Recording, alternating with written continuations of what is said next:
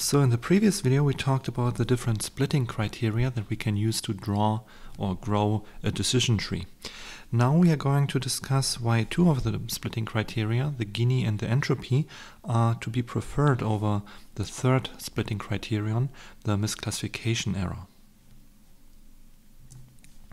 So recall we had these different uh, splitting criteria, the entropy, a scaled version that I made for comparison, with the Gini impurity, and then we had the misclassification error. So here, just to recall the shape of those different um, impurity measures. So for the entropy, that's the black line here, that's the tall one here, you can see it's like this concave function. And um, yeah, the scaled entropy, that's just uh, the entropy multiplied by 0.5, so we can compare it directly to the Gini, because they both peak at 0.5 in terms of a binary classification problem. So in this case, what we can see um, is that they are also concave. However, in contrast, the misclassification error is not concave. So it's um, this sharp peak here at 0.5 and then these um, yeah, linear or straight slopes.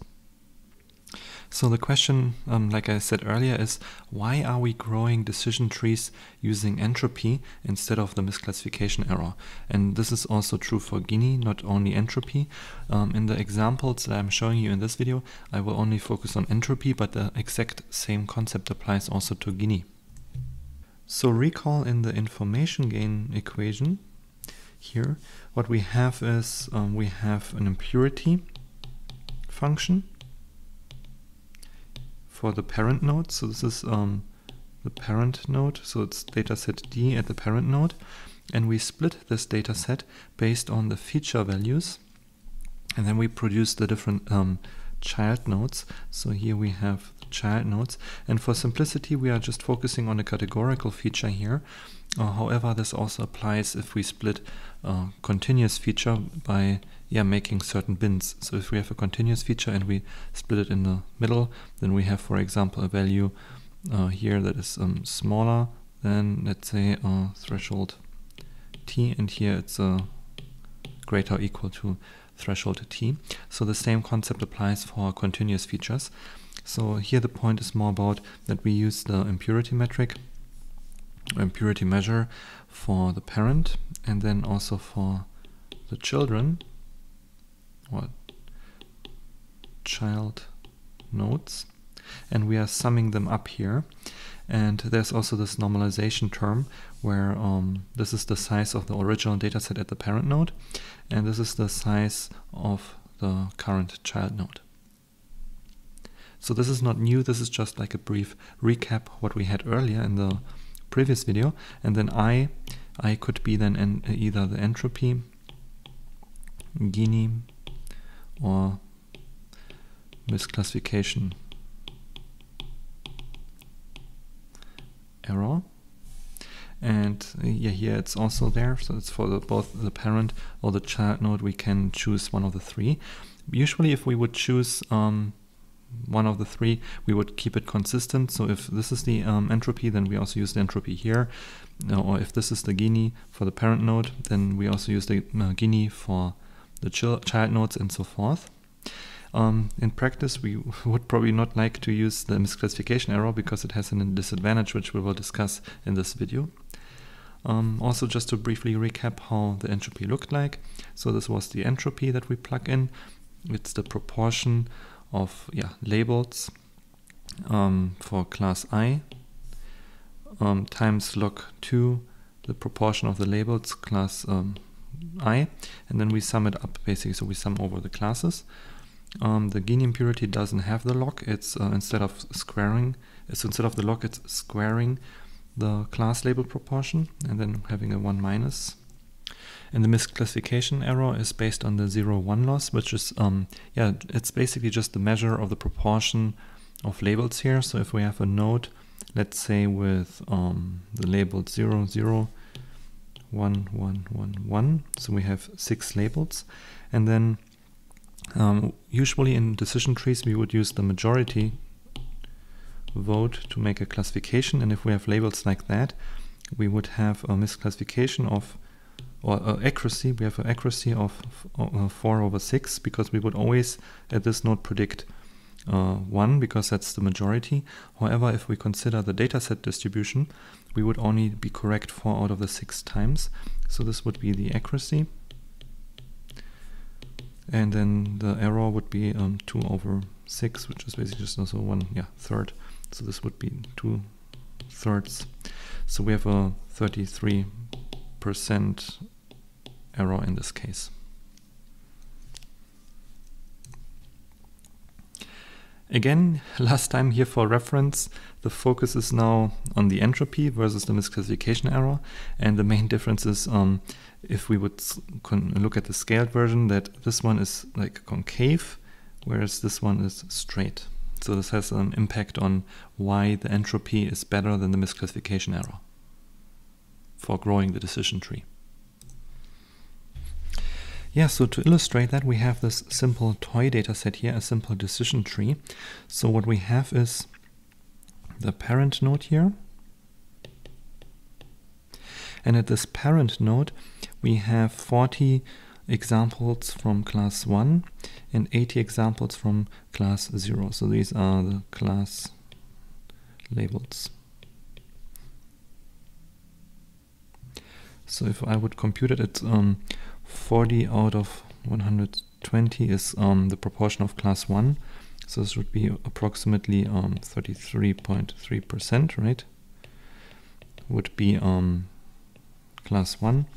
And uh, class 0 would be 80 over 120. It's approximately 66. Um, percent.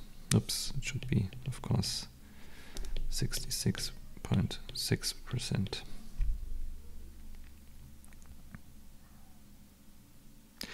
Now assume the best feature to split turns out to be the feature x1 and we split it by, based on um, whether the feature value is 1.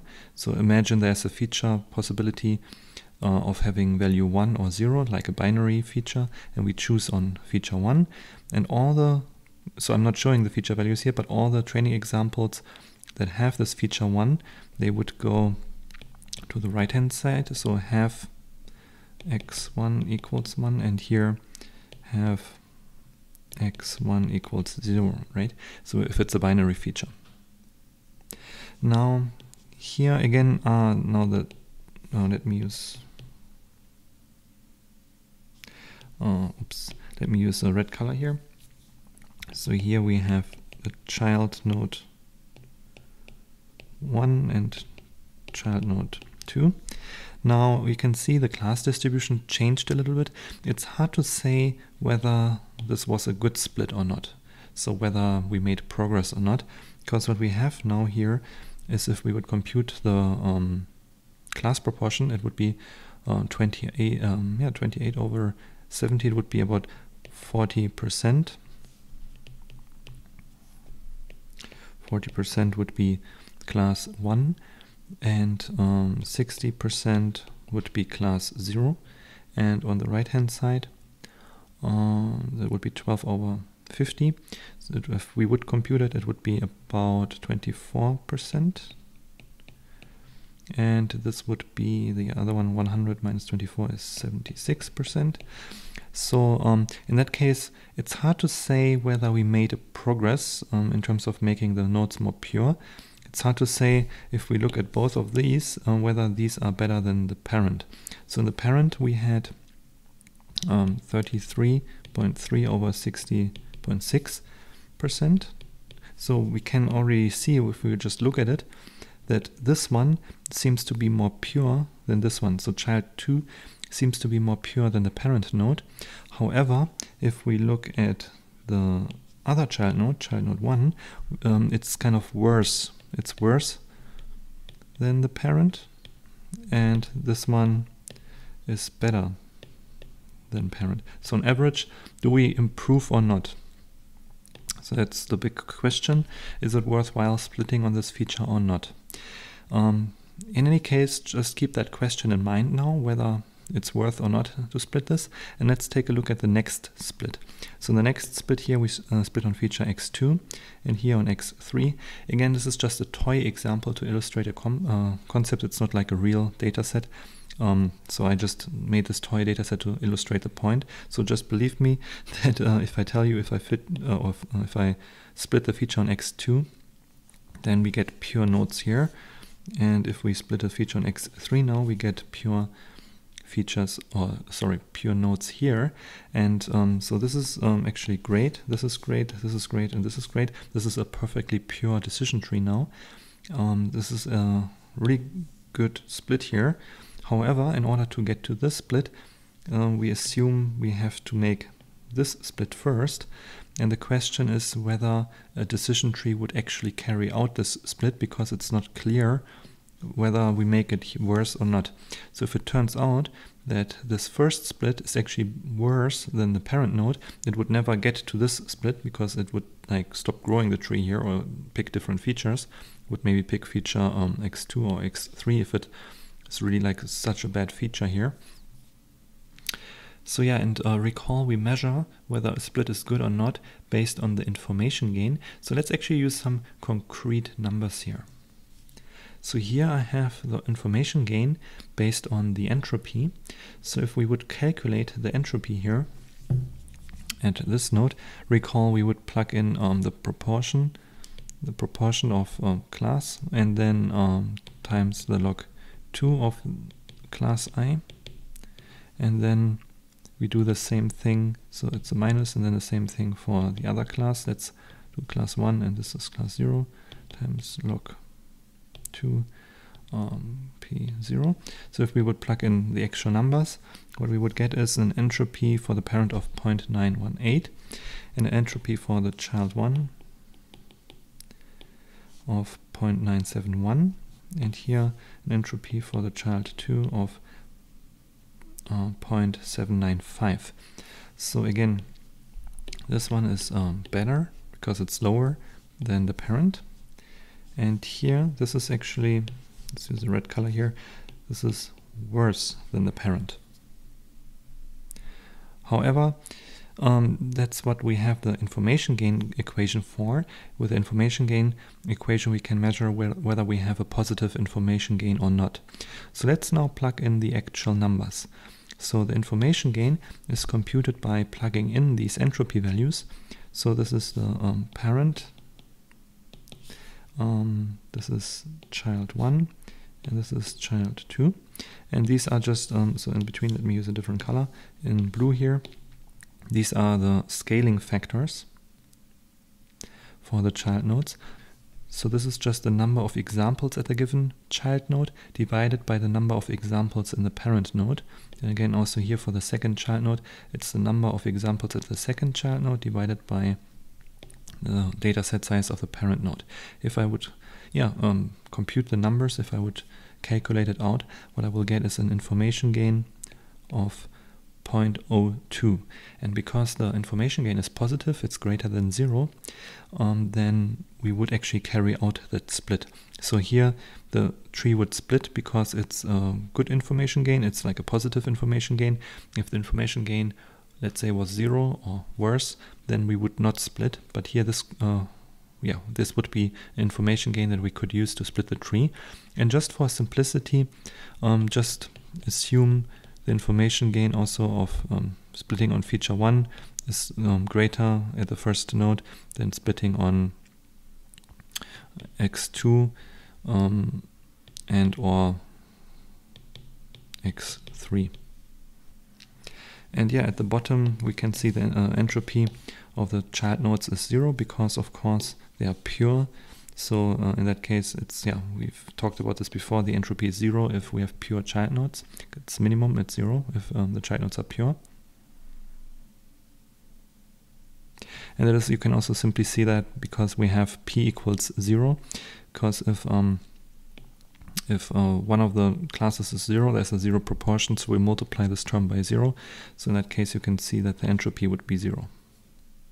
And for the second term, it would be um, the proportion would be one, right? And log two of one is zero. So in that case, um, the second term would be zero. So in any case, um, if one of if the nodes are pure, then one of the two terms is always zero, and then we would basically have a sum over multiple zeros, and that yields an entropy of zero. So what we have done in this slide is we have determined that the information gain is positive for this um, split if we use the entropy. Now let's play the same game again with the misclassification error. So here um, I'm writing down the misclassification error. So like I explained earlier, um, we have a 40 out of 120 as the error because that's uh, how often we would make a mistake on the distribution of the um, data set. Um, and here we have the error of 28 over 70 and 12 over 50. So now what happens if we plug in the error into the information gain formula? Before, before um, we had entropy, now we are using the error. So we are plugging it for in for the child nodes and here for the parent node. So if I would calculate that out now with the error as impurity metric in the information gain formula, what I will find is that, yeah, the information gain is zero. And if we have an information gain of zero, we would actually not carry out this split. So this node and this node will not exist, and consequently these nodes will not exist. And then we would have to check out these other features. But I, like I said before, uh, let's just make the assumption that x1 at the first split is better than x2 or x3. So in this case, we would also not use x2 and x3. So we would be stuck with this um, decision stump. So if a decision tree has only one level, it's called decision tree stump. And we will talk about this more in the next lecture when we talk about ensemble methods and um, gradient boosting and also Ada boosting. Um, yeah, so the bottom line is that misclassification error will not uh, help us in this particular dataset case because here the information gain would be zero. So um, this figure briefly summarizes or visually summarizes why the misclassification error is not as good as the entropy or Gini for growing a decision tree. And that is because it can sometimes get stuck if the information gain is zero, like we had on the, this slide here. And you know why that happens? It's because the entropy is concave, whereas the misclassification error is not concave. It was this um, straight line. So what I have here is um, the the uh, parent node at the given entropy. So I'm actually using the real entropy values here. So this was um, the entropy value. Let me go back. What was it? Um, 0.918. And then I also have the entropy values for the two child nodes. So I'm not going back now, but these were the actual values from the data set. And you can see that the average of the child nodes if I just uh, average these entropy values, it's lower than the actual parent node. So even though we don't make an improvement in terms of, let's say, the purity of the nodes, because the average over the child nodes is always below the parent node, we would always have a positive information gain. Or in simpler words, if you have, um, let's say, a case where you have, um, I don't know, like let's say 50 and um, 50 at a parent node and then you have 25 and 25 at child node 1 and 25 and 25 at child node 2 this would be even um, then a positive information gain because of this function because it's concave the entropy of the parent node would be higher than the combined entropy of the child nodes. So in that case, even though you don't make an improvement here, you would actually grow the decision tree. And yeah, this can help growing out the decision tree. Uh, it can help, yeah, preventing the decision tree from getting stuck because there may be another feature that if you split it like this first, that you now can, yeah, make an improvement that you have maybe something like 40 to 10 or something like that in, in one child node and then um, 40 and 10 on the other, let's say 40, 10 in one and 10 and 40 in the other. Um, it could happen that, yeah, you have such a split, but you have to split here first. So in that case, the entropy helps us or helps preventing from getting stuck. Um, and for the Gini impurity, it would be exactly the same um, because if we go back, the Gini impurity is also a concave function. Actually, sorry, it's a red dotted line here. So it also is a concave function. So both entropy and Gini have the same effect. Of course, you can maybe also think of modifying the misclassification error by adding a small constant to it, and then yeah, also you would prevent it from getting stuck.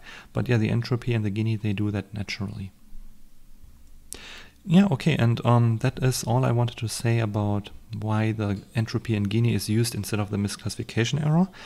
In the next video, we will talk briefly about making improvements to the decision tree algorithm, um, like some tricks to make it maybe even better and also for dealing with overfitting because yeah if we grow a very tall tree if we make a lot of splits until the child nodes are pure what can happen is often that we overfit to the training set which means that we don't may not perform so well on a new data set because we memorized too much detail about the training set.